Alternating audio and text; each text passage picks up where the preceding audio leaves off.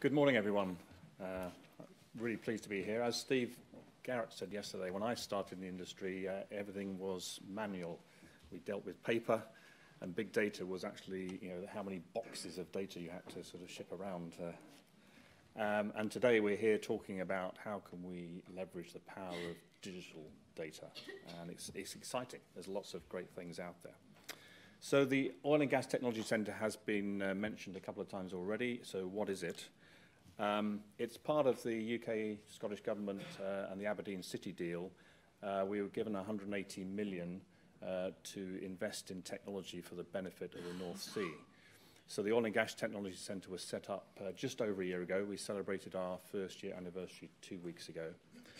Um, and it is there to help unlock the potential of the North Sea, um, to also try and anchor the supply chain in the northeast of Scotland, you know, create some sustainable jobs there, um, and to create a, a culture of innovation uh, that attracts industry and academia alike. so we're about trying to inspire, stimulate, and accelerate, uh, and then deliver technology. Uh, we've got funding to invest in projects, uh, field trials, um, concepts that perhaps uh, may be slightly more risky and a little bit of funding helps move them forward. Uh, we, like, we are set up to prove technology, get it ready for market. How do we do that? Um, so we've got four sort of aspects to the centre in, in Aberdeen, in 20 Queen's Road. If you haven't been there and you get a chance, please come and visit. Um, one of them is uh, the Innovation Hub. So we have a, a, a space uh, where we host events that helps inspire and stimulate uh, thinking around technology and how it can be used. And so we're regularly hosting events on a weekly basis there on various topics. Um, it has a lot of technology in it as well to help facilitate those conversations. Uh, it was refreshed and, and revamped in, in quite an innovative style and, and opened fresh in October and we kicked it off with a, a week on robotics. So uh, just to give you one example, uh, that event we brought in industry leaders, we brought in academic leaders, we brought in people from other industries that are using robots and we held a conversation to see um, how robots could or how they needed to be developed to work offshore, we helped educate the, the robotic industry and what an offshore environment was like. At the same time, we, we challenged uh, industry to see how they might think about using robots in the future. So that's just one example of the conversations we're trying to, uh, to stimulate. the, uh, the second uh, aspect is we've just launched uh, a, a TechX environment. This is an, uh, an accelerator, a technology accelerator function where we will support small startup companies um, we're with various cohorts of, of, of training. Um, we've had a massive application uh, to, for the first cohort, and we're in the process of, of deciding which you know, first to 10 or 20 companies go through that. Um, so that's making sure that uh, small companies that start up with great ideas, that they can be sustainable and have a future.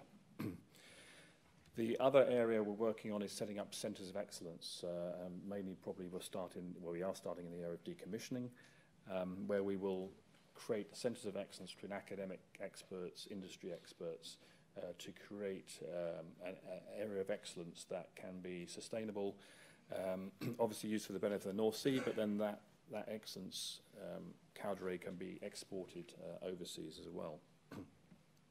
Fourth area is, is uh, the solution centres, which is really where the project investment happens and uh, we, we deliver technology. So uh, there are five solution centres um, that are focused on the MER UK objectives.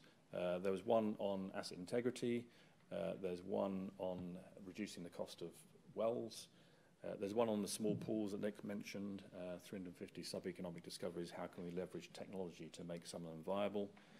There's one on decommissioning. Again, Nick mentioned uh, you know, decommissioning is upon this basin and uh, we're grappling with how to reduce the cost and the burden of that and technology can play a part. The TLB helped shape the OGTC, and Steve uh, Garrett was talked yesterday, uh, sits on that. And um, they very insightfully looked at, at other industries and said, well, yes, they're clearly the priorities for, for the North Sea, but there's a lot of stuff going on in digital. It's transformed other industries. you can't have a technology centre without a digital aspect. So the fifth centre was uh, set up was digital. Um, we've labelled that digital transformation because we believe that uh, that's what it's about. It's about transforming the way we can do work in our industry. So as I said, the centre's been going for just over a year and there's been a strong track record so far. We've actually invested 37 million of our 180 million available, so we're, we're ahead of the curve on our investment profile. Um, we have um, run 10 field trials, mainly uh, last summer when the shutdown periods of platforms, so operators have cooperated and provided access to facilities to test technologies such as uh, new sensors for detecting corrosion under insulation, um, some drilling uh, technologies, etc. So that's been exciting, the ability to actually get things tested and proved and brought ready for market. we currently have 70 live projects running. And I had a quick look at the list, and, and of those 70, um, about 10 of them have got some flavour of analytics in, them. Um, and I think there's a lot more to, to come. We're a membership organisation, so we encourage people to join and become members. You get access to more information about the projects. We're not looking for more money. We're looking for in-kind contribution from our members. So they, they own their membership by uh, giving us uh, their time and effort, maybe access to facilities, uh, equipment, or, or data. We recognise all those as in-kind contributions. Um, we have reviewed over 400 uh, you know, technologies, and I think uh, we've seen over 2,000 companies in that one year. Um, and then uh, another way we stimulate ideas is to put out call for ideas where we have a topic like plug and abandoning wells. We put that out to industry and we say, you know, give us ideas that you want to see us invest in. And we've had over 200 ideas through that mechanism. I think we've issued uh, seven calls so far. So a great strong track record and it's uh, well recognised that this has been a success so far. We invest in a range of uh, technologies, uh, anything that can be uh, seen as for the benefit of the uh, UKCS and, uh, and can help with the MER UK objectives. We've got sort of three horizons, uh, things that can help fix today's problems, things that can enable those MER UK objectives, and then things that will transform the way we do things tomorrow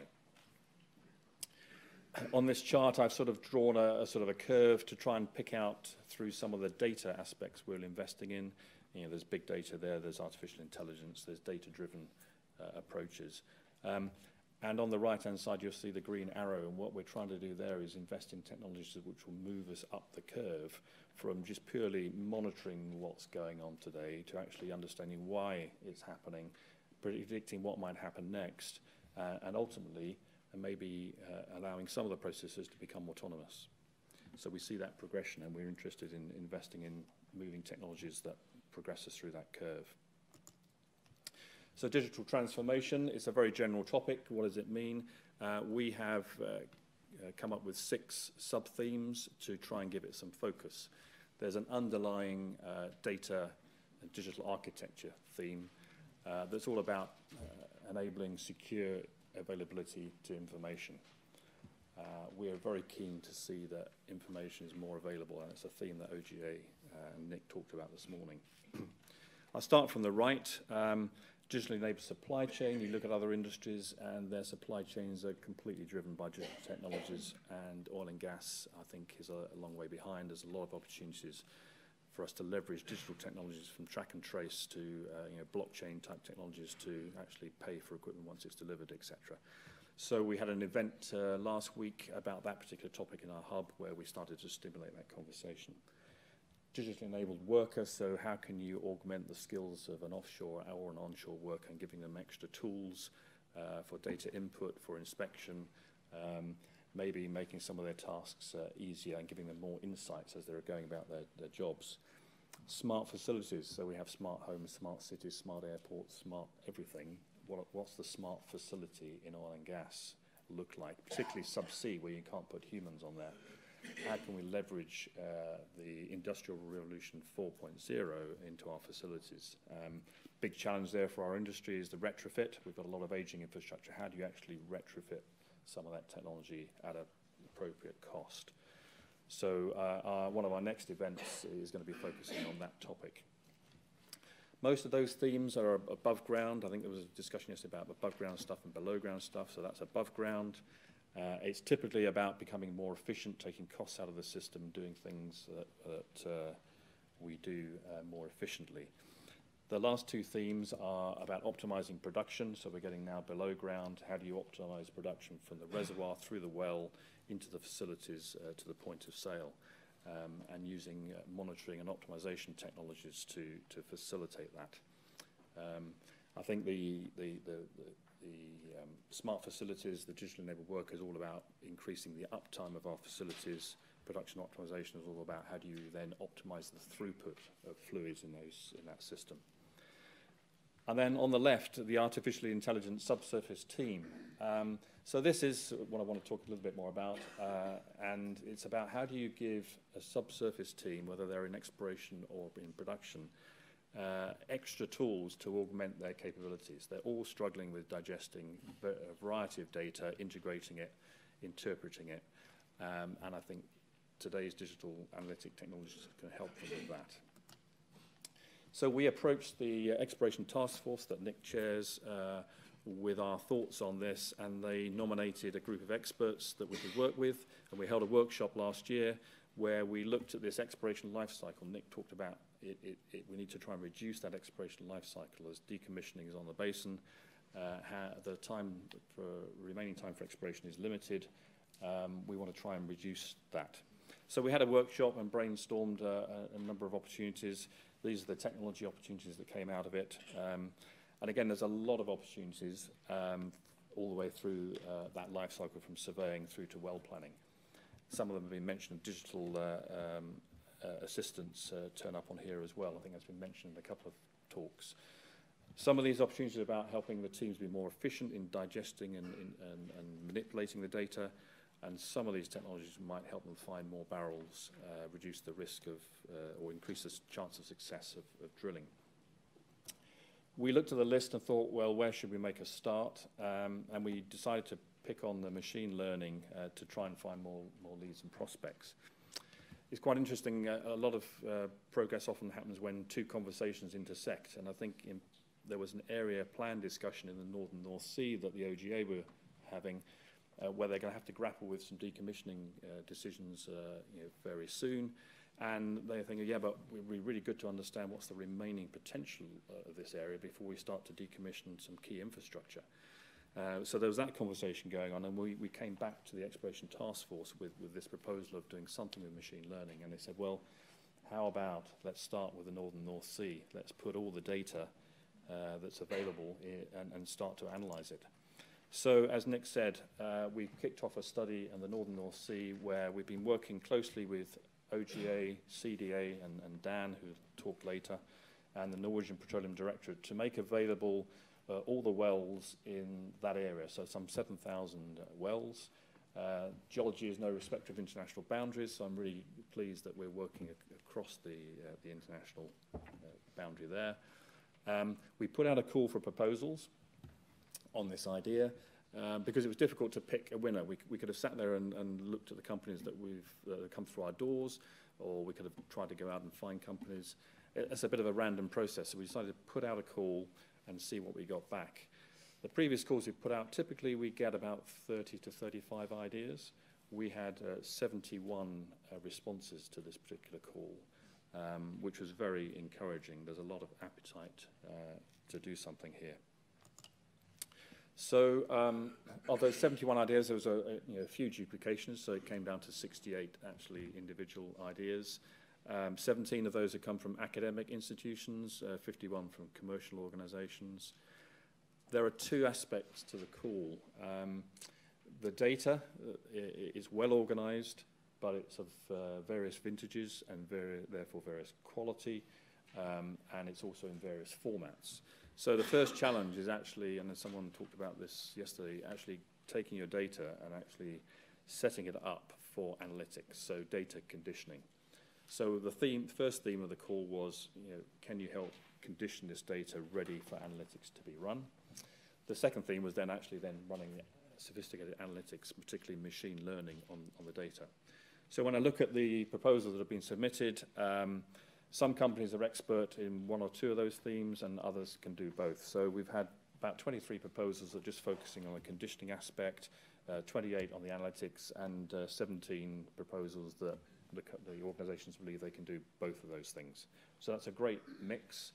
Um, we have uh, created an expert panel. So the way we run the calls is we get the ideas in, we have experts then assess those ideas, rank them, um, and shortlist them.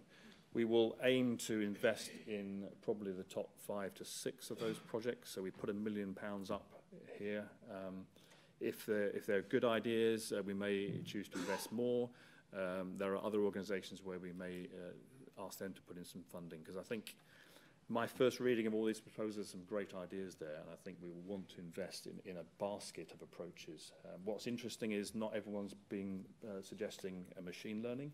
There's been a, a variety of uh, proposals in terms of the analytics.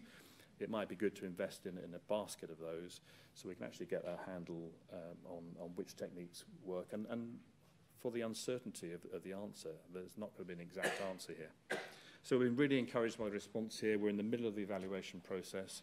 Um, and there's been a variety of timescales pr uh, proposed. Some companies believe they can crack this in, in about you know two months, and others think it's going to take a, a year to go through the data and really pull out uh, information. So again, we'll invest in a range of timescales. So I'm hoping that in future conferences, uh, in about six months to a year's time, we can start to publish the results of, of, of this work. Um, my summary of, of just what I've seen from the responses is we've, we've had considerable interest in the fact that we're making data available. So we've, we're, as Nick said, there's a trend to try and make more data available. So this is making 7,000 wells available, a lot of in interest. Um, the interest has come from not only uh, UK companies but also overseas companies. I think we've had uh, proposals from about six overseas companies. Uh, and various sizes of organizations have applied from, from four-man companies to huge, you know, international companies. So we've got a range of interest. Um, and as I've mentioned, there's various timescales being proposed. The OGTC has been set up to encourage uh, the development and adoption of technology. So uh, we, one of the things we insist on any project we invest in is that we will publish the results uh, to industry in some form. Um, and so the intent is uh, of this work is that the results will be published, uh, and we look forward to being able to do that at future opportunities. So uh, that's the, the end of my talk there, so thank you. Um, just one thing to say, this is a call about this particular project. If at any time you have an idea, your organization wants to try something, uh, you've got someone that's willing to, to, to test it, please come and approach us. We are investing in projects all, all the time, so don't hesitate to, to make contact. Thank you very much.